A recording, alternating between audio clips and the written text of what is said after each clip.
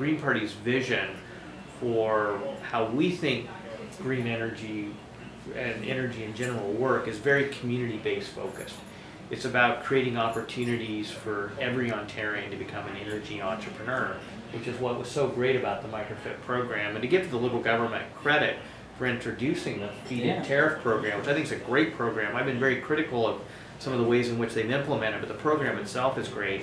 And to just rip the rug from underneath the program at this early stage is going to have a negative effect on the program itself, but it's also going to have a negative effect on um, our local economies, and in particular with the, the ground mount, uh, our rural economies.